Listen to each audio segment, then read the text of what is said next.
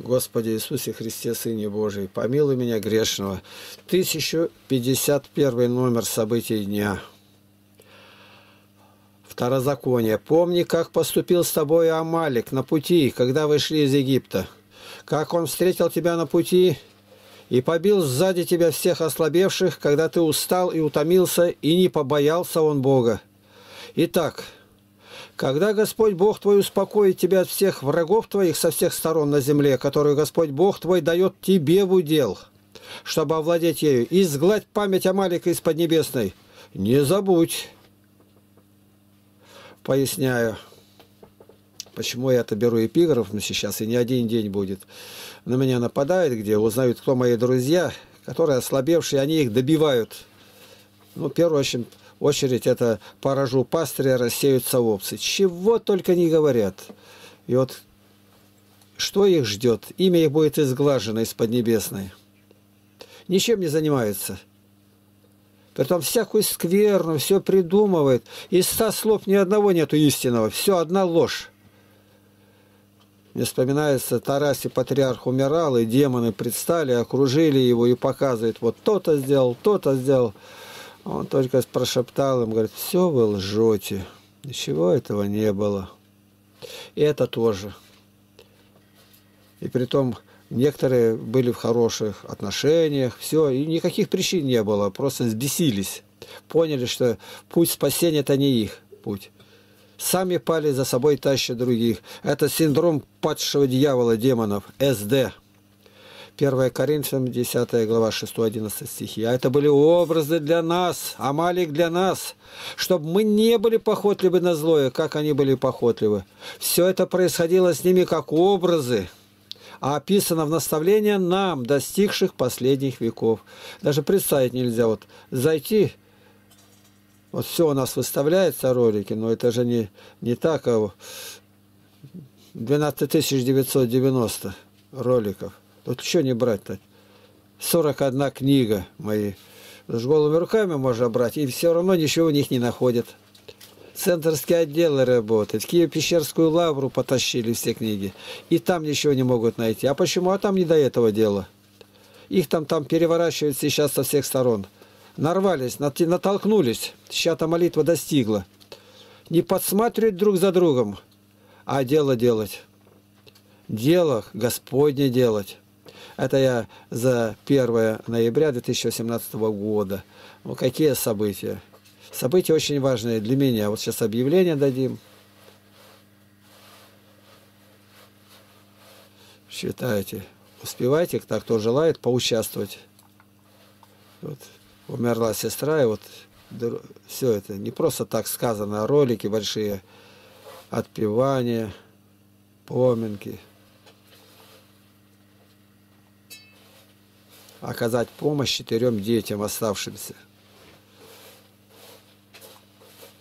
Эти, как написано, община доверила мне собирать и хранить эти средства. Расходуются средства на те или иные нужды детей по благословению батюшки отца Акима Лапкина, по совету Игнатия Лапкина, Тих, Тихоновича Лапкина и нашего врача Яковля Виктора Андреевича.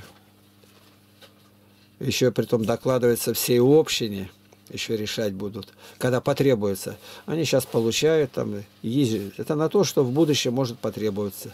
Для других, кто будет спрашивать номер карты, еще. Вот интересно, Надежда, она, наша прихожанка. Игнатий Тихонович, мир вам. Я все время думаю о детях, о детских занятиях. Не знаю, как описать чувство. Может, чувство вины. Надежда Васильевна – очень рада, что ей разрешили заниматься с детьми. У нее потребность учить и наставлять деток. Она пожелает, но пока еще есть силы учить детей по Слову Божию. Завтра может и не быть силы здоровья. Она знает и уже готовится к занятиям в воскресенье 4 ноября. Ну, а сегодня второй вот у нас. Посмотрела сегодня ролик, где Володя с Сергеем Козловым беседует по скайпу. Сразу родилась мысль, а почему бы Володя не провести с детьми занятия? Расскажет о своем пути к Богу, обращении и прочитает стихотворение, которое он в этом ролике прочел. Занятие всего 15-20 минут идет. Поговорите с ним. Может, Володя подготовится. И после Надежды Васильевны он проведет следующее занятие. А если понравится, то может регулярно раз в месяц проводить занятия. Тему сам придумает. И так проводить занятия по очереди. Надежда Васильевна, я, потом Володя и Лене разрешить. И Игорю. Примерно каждому учителю раз в месяц провести занятия. Но тут даже не хватает еще. Значит, Надежда раз, Надежда вторая два, Володя три, Лена четыре, Игорь пять. Будет примерно каждому учителю раз в месяц провести занятия. Еще раз благодарю вас за беседу. Она приезжала тут, побеседовали. Спаси Христос. Я вчера объявление дал. Мне бы как-то научиться подписывать фотографии свои, чтобы надпись была ниже фото и никак не терялась при перемещении фотографии. Тогда будет проще и надежнее, и дешевле мне. Времени у меня нет лишнего. Подскажите поточнее только, что получалось вот так. Ну и дальше фотографию показываю на нашем сайте. Ну, взяли за меня учить. Со всех сторон, что с меня получится. Сергей Евтушенко активнее всех тут взялся. Другие там из Америки. Сейчас посмотрим. И что мне легче, э, чтобы было даже не голосом, а именно так. Вот такой-то нажать, там-то нажать, потом а туда-то перейти, так-то, туда-то, там-то и все. У меня фотографии в моем мире 22 430. Я вот только что на этой неделе 1400 выставил. 32. А тут ролик взял я у Никиты, как у него велосипед украли там, в Борисполе, видно. Когда я работал в городе Пенза, я поясняю, то купил себе хороший велосипед для езды на работу. Однажды, во время обеденного перерыва, заехал в библиотеку обменять книги, а велосипед оставил у входа, не затащишь же внутрь. Быстро обменял, вышел, и нет моего коня-помощника. Зашел в отдел милиции, рядом там, а мне говорят сотрудники, так вы не первый уже сегодня. А на руле висела сумка с рубашкой, еще что-то. Так я вернулся на квартиру своим ходом. Было еще и так. Вышли из баптистского собрания, мы часто их посещали после храмового служения нашего. я решил подвести одну девушку на велосипеде. А вот она и наша милиция. Остановили, спросили, даже знаю ли я порядок, что на велосипеде нельзя перевозить людей. Мы же не в Индии. Милиционер отвинтил ниппель и забросил его в кусты. Так и привел я свой транспорт ночью пешим ходом. Пока шел, то припомнил места из Святой Библии. Вот интересно, э, припомнил, другой скажет, а я не припомню. Почему? Ну, все время занимаешься, как-то откладывается. Притча 29.19. Словами не научится раб, потому что хотя он понимает их, но не слушается. Серахов 42.6. При худой жене хорошо иметь печать. И где много рук, там запирай. Запирай. Я все время говорю. Как у нас по Теряевке. Даже палочку к дверям не хотят поставить. И вот в районной газете пишет, говорит, и замки не вешает, одну палочку. Может быть, испытаем у себя тут в Мамонтово-то. Шаг, чтобы не запирать-то. Ну, полиция не одобрит этот наш эксперимент. И дальше. Это я все о ворах. Когда-то я просчитал, как, кажется, в Стокгольме на улице дворники подметали улицу, и все время приходилось им переставлять велосипед. Не на цепи, а просто прислоненный. Потом оказалось, что он уже стоит более 30 лет, ибо его хозяин умер. Еще Двое наших алтайских парней совершали свое турне по Китаю на велосипедах. По возвращении спросили, что особенно привлекло их внимание. Они ответили, что там вообще не воруют. Можешь мешок с деньгами прямо на остановке оставить или лечь там спать, и никто тебя пальцем не тронет. Это так. И дальше пишу. Григорян пишет в книге «Были легенды Востока». Как им пришлось услышать в Тунисе крики и пыль столбом увидели. Все кричали «Сук! Сук!» Оказалось, что поймали вора, а некоторые пожилые даже люди впервые увидели живого вора. На утро они проходили на базар и на воротах увидели кисть руки того человека, прибитую к воротам базара, почерневшую на солнце. Или еще. Василий Михайлович Песков был в Скандинавии, и когда узнали там, что он едет далеко от города, и там дорога в сторону лесника в лес и стоит ящик большой, без замка, но написано, что это почтовый ящик – Ему подали сверток и сказали, чтобы он положил там этот ящик. Он удивился, а как я открою этот ящик? Так он же без замка. Так утащит же. Кто? Там же на посылке-то написано, кому взять-то. И чужие не возьмут.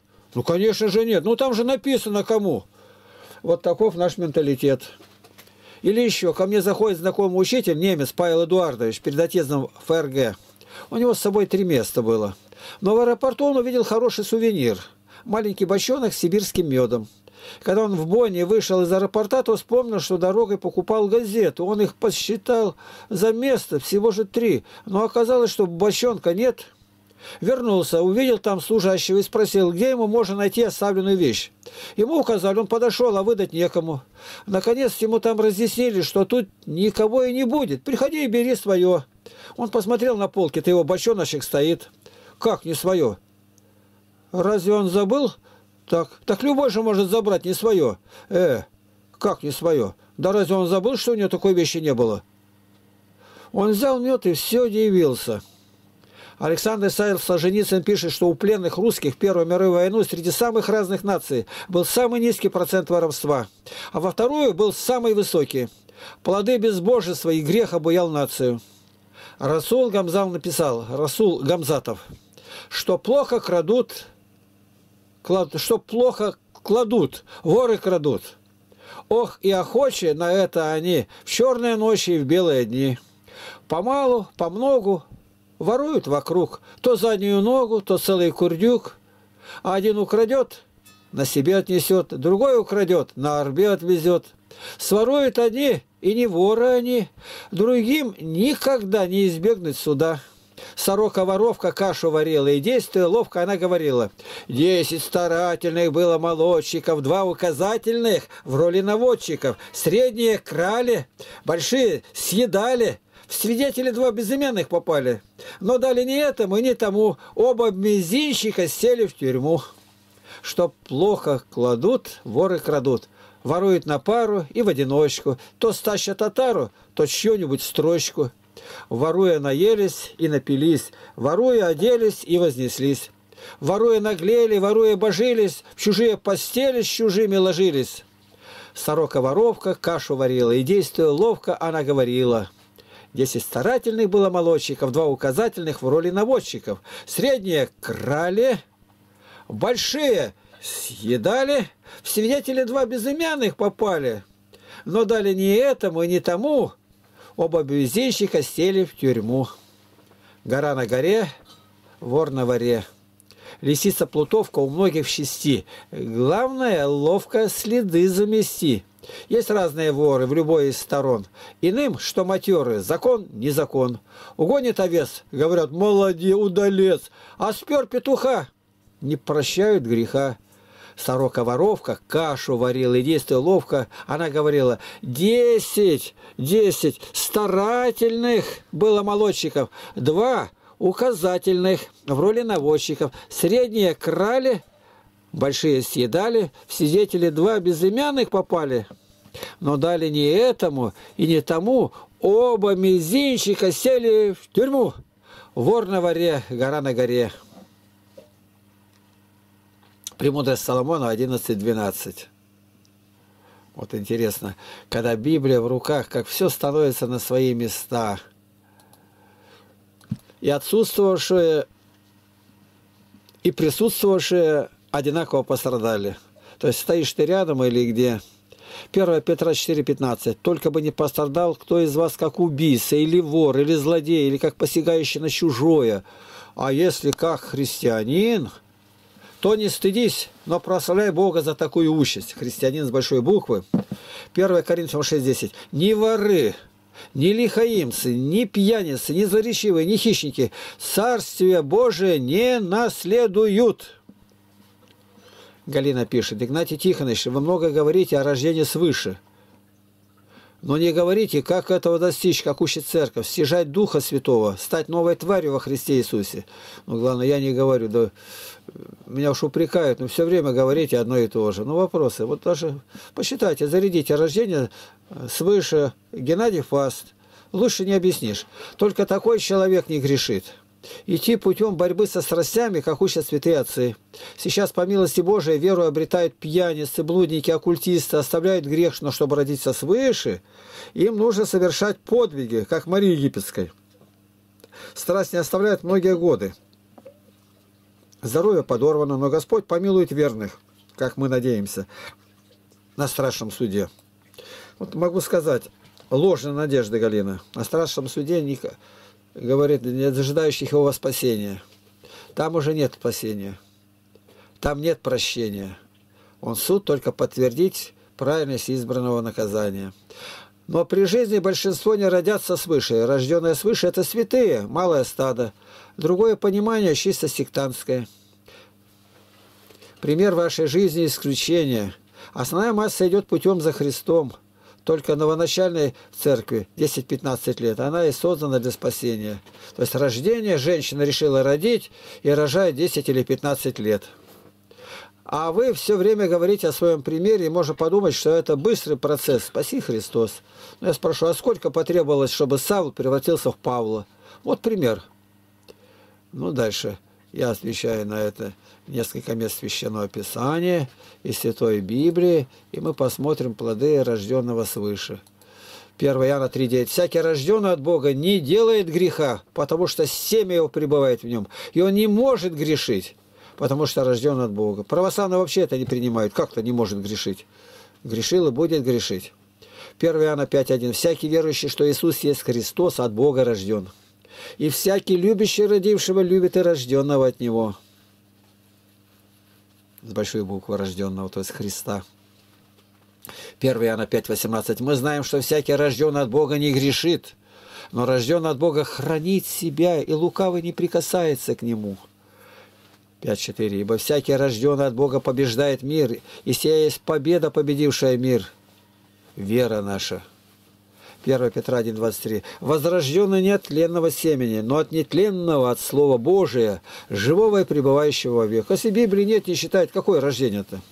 Деяние, 4 глава, 20 стих. Притом удобно так пользоваться. Мы не можем не говорить того, что видели и слышали. Никита Колесников поясняет, как своровали. Мастерская работа. За день до этого я возвращался с работы через магазин и приехал домой слегка загруженный продуктами, с велосипедом, рюкзаком и большим пакетом. Забираться в лид было неудобно, и я оставил велосипед пристегнутый к оградке, решив спуститься за ним попозже. Но этого не сделал, вообще забыл. В этот день я слегка заболел на всю следующую неделю. Ничего себе, слегка заболел. Что интересно, если бы я проснулся в 4.40, как обычно, то выгнал бы с балкона во двор-то и мог бы застать супщика прямо на месте преступления. Но дрых до 6 утра. Теперь мне учат, я тут переписку веду. Вот этот Paint на виду, это программа такая, теперь мне не голосом, а укажите стрелкой, с какого на какой этаж переходить восходить. Какой стороной мышки нажимать что-то. Так будет попроще. Укажите, что вот такая-то рамка, и далее что и куда переходить. Можно внизу многоточием снова нажимать. Куда нажимать? Или стрелкой с перехода указать, или многоточием. Мне нужно видеть написанное и делать переход на схему. А если сразу по голосу на схему, то что-то пропущу, не расслышав, тем более тихо ваш голос слышно. Буквами с названием «Куда и что». Евгений сегодня пишет. Доброго вам дня, Игнатий Тихонович. Писание приобрел. Теперь в доме есть Библия. Теперь к молитвам и походам в храм добавил православное, истинно православное Писание. То есть полную с неканоническими книгами. Большое вам спасибо за беседу по скайпу и за то, что встречаетесь на пути. Считаю, что больше таких людей было, чтобы которые протянут руку любому человеку, который пускай даже на миг задумается о Христе, Боге или Духе Святом. Измените, если что-то сказал не так. Передавайте привет своим и всем, кто с вами на связи. Слава Христу! То есть едет в Италию, работает, и Библии нету. Хотел бы увидеть, может, в будущем ролик, на котором вы всей гурьбой в Потеряевке лепите снежную бабу настоящую, с морковью, с ведром, метлой и пуговицами. Например, возле места где собрания после посещения храма. Ну, а за Брюсова спасибо. Вот так. Ну, события какие. У меня зуб откололся. И острым концом режет язык. больно, терплю день, два, неделю, вторую. Возможно. Идти к врачам далеко, сидеть там. Но Володя попросил, он инструменту купил надфиль, такой мелконький напильничек, плоский. И вчера я ему говорю, давай. Да нет, не хотел никак, но я уговорил. Тут еще одна приходила сестра, я ей давал, она поскоблила, ну, слабовато видно. Володя поделал, все, сделал. Правда, маленько еще чуть-чуть задевает, но уже разговаривать могу, букву «Р» могу произносить. Она при язык изгибается и задевает там, язык просто больно и больно. Вот. А второе событие более грозное. Гляжу, Володя идет по наружному наблюдению. А, ну, открыть надо. Я побежал, а дальше только уже не помню, за что засыпился ногой. Из одной комнаты в другую. И только как будто полностью отключенный, я лечу и с размаху бьюсь об пол. Вылетела банка с вареньем. Прямо возле головы крышка слетела, с нее маленько сбрызнула, но не пролилось. И на нее лесом упал бы, ну, даже говорить нельзя, последствия какие были бы. Но молитва, Господь по молитве, видимо, щех, сам только что помолился. Еще лежу и думаю, как же это так? Гляжу половичок на пути с переходе в дверях. Но двери-то у нас тут нету. Проеме на кухню. Лежит на месте. А почему я мог запнуться? Нога за ногу? Не знаю. Но ударился с такой силой, что подумал, переломал все кости, как будто упал с лестницы давай каждый палец на, на правую руку, сейчас еще опухшая, э, спробовать везде давлю, ну, больно-то больно, но нигде не, нету, не хлюпает нигде, ни пальцы, все по одному перепробовал, не сломал. Давай приседать, ноги, ну, обычно шейку, бедра ломают, ничего не сломал. Ну, скорее на молитву тогда опять. Господи, да сейчас же молитва да достигла. Уже не один раз было так. Не один раз. Я один раз набирал уголь в потемках темноте. Я оттуда вылазил, и доски-то вынимаются, там запнулся упал точно между двумя ведрами. Лицо, голова. Я прям тоже шапку скинул и там в сарае начал молиться. Вот вчера такое дело было. Не знаю. Вот все-таки что-то это есть. Ну, предупреждение от Господа. У меня однажды было такое – принесли одеяло, ну, новое, с дырками. У одной сестры, там вот, умерли родители, она не знает куда, сунула. А видно, одеяло-то хорошее. Я ему укрылся вчера. Среди свое одеяло у меня тут покрывало, потом третье, не натопленное. Думаю, а теплое это одеяло синтепоново, оно подо мной лежит. И ночью кошмары замучили. Сегодня встал утром-то пораньше, в 3 часа 20 минут, и святой водой осветил, окропил этот, это одеяло. И почему-то подумал, человек, который им одевался, был неверующий, а но не этим. Как говорят, не ту энергетику несет, это я для смеху говорю. И сегодня решил узнать уже, кому оно до этого принадлежало. А вот это что-то несет. Это в жития святых написано. Вот так добрые, недобрые. Это было такое. У Арсения братья купили, не купили, им подарили. Виноград хороший. Они поели, ну и решили ему дать. Он говорит, уберите его с глаз. Почему? А это нет хорошего человека. Да какая разница, виноград-то, что там, запах какой, что ли, от него остался. Вы ничего не понимаете, что ли? Я сказал, недобрый человек, он скупой. А тут дал, что-то у него нужда или что такое-то. Я не хочу есть его. Не хочу и все, выкиньте. Братья говорят, ну, никогда не думали, что духовное состояние отражается на том, что он делал. Виноград-то хороший очень. Вон быки привязанные. Отдайте им.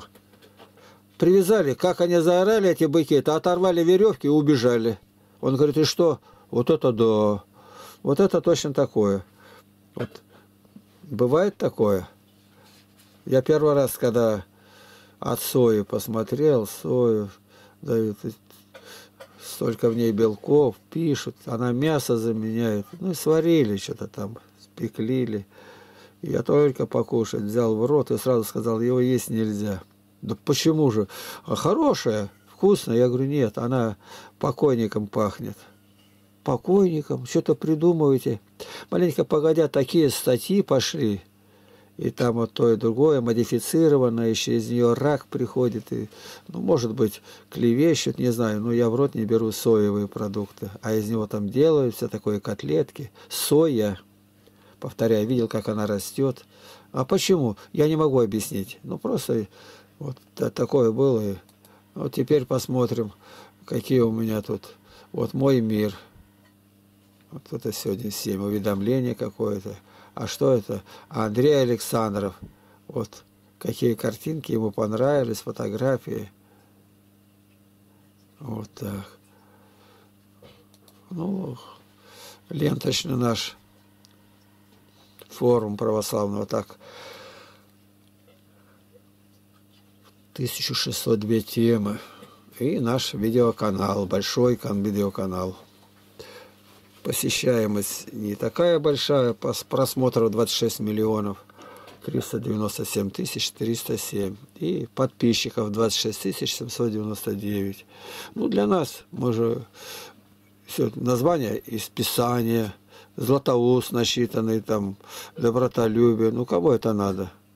Я все вспоминаю, бабка учит, как сковородку почистить. 3,8 миллиона. Ну, другое еще-нибудь там, по 8 миллионов. Ну что, дошел в магазин, голову повернул, на витрину стоит там голая баба. Ну и что она? Ну и сколько людей посмотрел. Да что смотрел-то? У нас заходят, это люди, которые постоянные клиенты. Вот сегодня я выставил Здесь вот Петр Чудотворец, Жития святых, никого нету.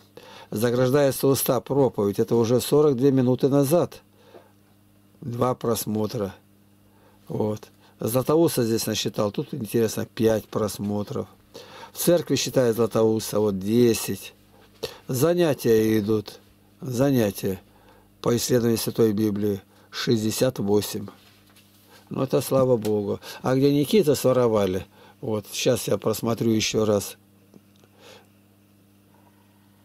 Вот. 2086 за 22 часа. 2086 человек. Ну, вот так. Занятия по изучению Святой Библии уже 415. Вот. С одним беседой 400, с то 400. Вот такое показать просто собрание было 1348, а все это дальше отдаляется день за днем-то, ну и тут больше уже людей видно, что, ну, хотя все равно тоже тут мелочь. События дня там 500 уже набираются, да мало. Это женщина незамужняя заботится о Господнем, 1785. Я просто показывать хочу. истинное крещение, тут не особенно события дня, 1500, вот. Дальше воззови ко мне, услышу тебя, та сестра э, приезжала из деревни, Любовь Минаева, 2077, часть первая.